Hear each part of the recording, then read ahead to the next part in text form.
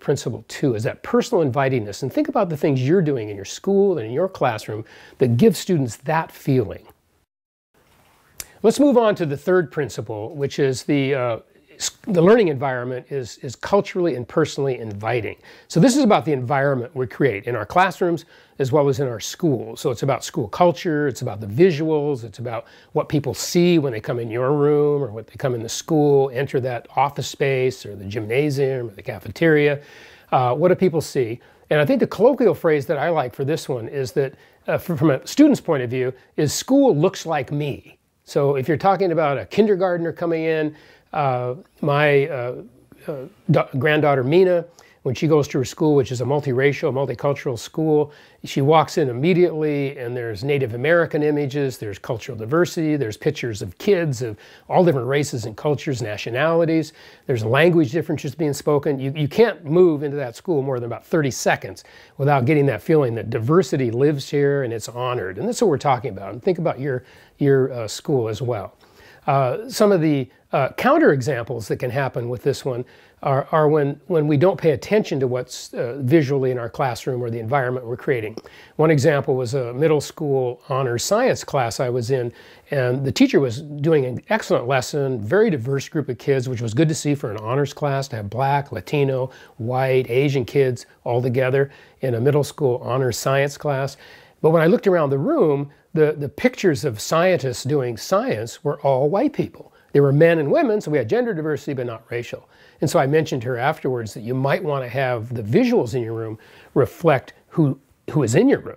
And it was kind of a no-brainer for her. It was kind of, oh, I, I, I, never thought of that. It just it wasn't that she was necessarily uh, uh, not honoring the cultures of the kids. She hadn't been paying attention to it. So that's what I call a missed opportunity. Okay, so when you go into a building, you also might want to pay attention to your general community spaces. Often I look, talk to principals about what's in the cafeteria, what's in the office. Uh, one example of that was another elementary school that had probably I think uh, kids from 30 to 40 different countries in the school, many languages, a lot of immigrant students. And what they did in their cafeteria, which had been very plain, and many of you maybe have already done this, was simply to put the flags of all the kids. And they gradually built this collection of flags that would be hung as each new student came from a new culture. And as you walk in there, you honor the cultures of those kids. So this is the spaces and how the spaces reflect uh, who the students are, who the teachers are, who the community is. So when you walk in that school, you get a sense of who lives there. Even if nobody's around, you get a feeling for that welcoming, that culture safe space that my wife talked about in her classroom. So these are the first three principles now that we've looked at, principle one, two, and three.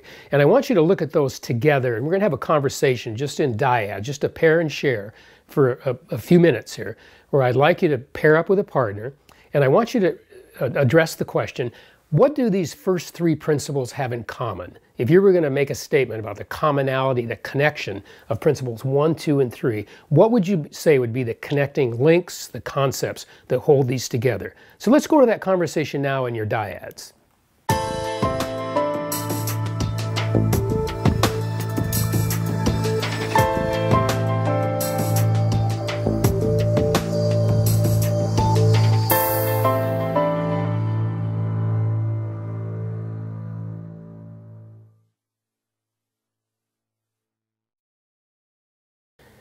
So having had that conversation in your pairs about what links uh, principles one, two, and three, I just want to make a couple of comments because you probably said things like they're welcoming, they're about climate, they're about the environment, or they're about the preset to learning. And that's the thing I want to emphasize when we're teaching across differences, particularly for students. And our main issue, remember, in 21st century schools is connecting to the kids for whom school has traditionally not worked. In other words, achievement gap issues, uh, equity issues, social justice issues, those kids for whom school was not designed to be successful. And we have more and more kids in our schools from groups who've been historically oppressed. How do we connect better with those kids? So the first three principles are what I call uh, front porch principles.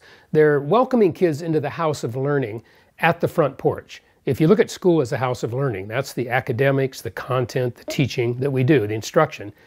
Uh, some kids come naturally to that. They're just ready to learn, and you have students in your classroom like that. But you also know that a lot of the kids are not ready. So we have to do serious front porch, invitational kind of work where they feel that they're being welcomed into the school environment and they're being invited into that house of learning that they may not come comfortably to. This is the reason that just instructional strategies is not enough. We're going to move to principles four and five now uh, and talk about instructional strategies and more the academic part. But the problem in 21st century schools, if we only narrow down, zero in on instructional strategy, in many ways we miss kids who don't even want to come in to the house of learning. And you see that happening in your classrooms. So let's move on. From the front porch, we move to principle four, which is that uh, the, the reinforcement of academic learning and, and reinforcing kids in their uh, academic achievement and their, their growth academically. Uh, my colloquial phrase for this one is catching kids being smart. And again, catching the kids who maybe don't even see themselves as being smart, catching them in the act of being smart. Now, a story that comes to mind here is an African American colleague of mine uh, from Nebraska who tells a story of meeting uh, a teacher, and he was in the early DSEG integration movement, uh, actually the first white teacher he ever had. Uh, but she saw something in him uh, that caused her to, to really connect with him and, and, and, and encourage him to learn and to go on to uh, higher level courses. And this was in the elementary level. Uh, and he said that was really the transition for him. It was one teacher who saw him, and it was a, a cross racial experience, African American student, white teacher, uh, that, that, that caused him to actually begin to see himself as smart. So that's one example of this happening in the classroom. Uh, the other uh, things that I, I, like to see, say here also is that things like RTI, response to intervention, uh, Marzano's work, many of the things that you're doing in your school in terms of uh, initiatives around achievement uh, come to bear here. There's a lot in those programs and those strategies that help us track and identify and do interventions uh, to catch kids who are maybe falling behind, but to, to mainly reinforce them in their, in their academic ability and their sense of being smart in the classroom. The principle four is about the belief in our students, the belief in their intelligence. If we don't believe in the intelligence of our kids, it's very difficult for them to believe in their own intelligence. That's not true for every kid, but for particularly those kids who are most vulnerable, who's primarily the, the, the audience we're thinking about in our work here.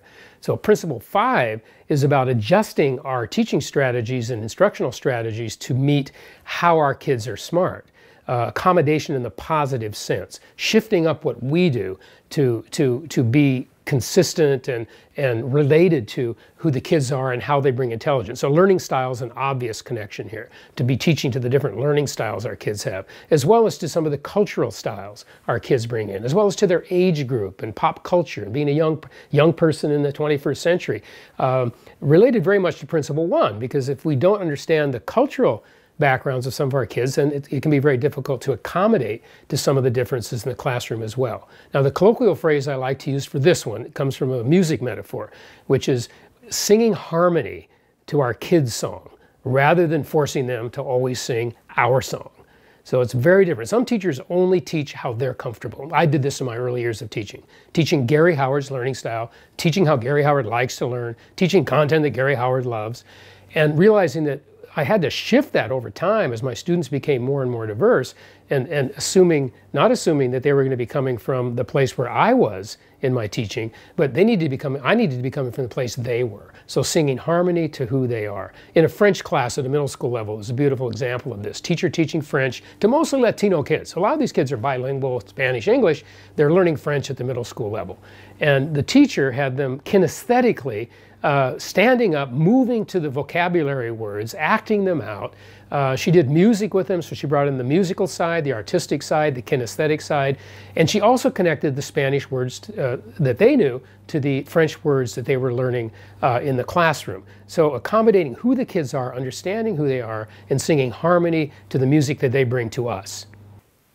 And as we look at Principle 5, I want you to also be connecting it to other initiatives in your school district. The obvious one would be differentiation, Tomlinson's work, and most school districts across the country now or into the school reform movement are uh, actively uh, focusing on differentiation in the classroom.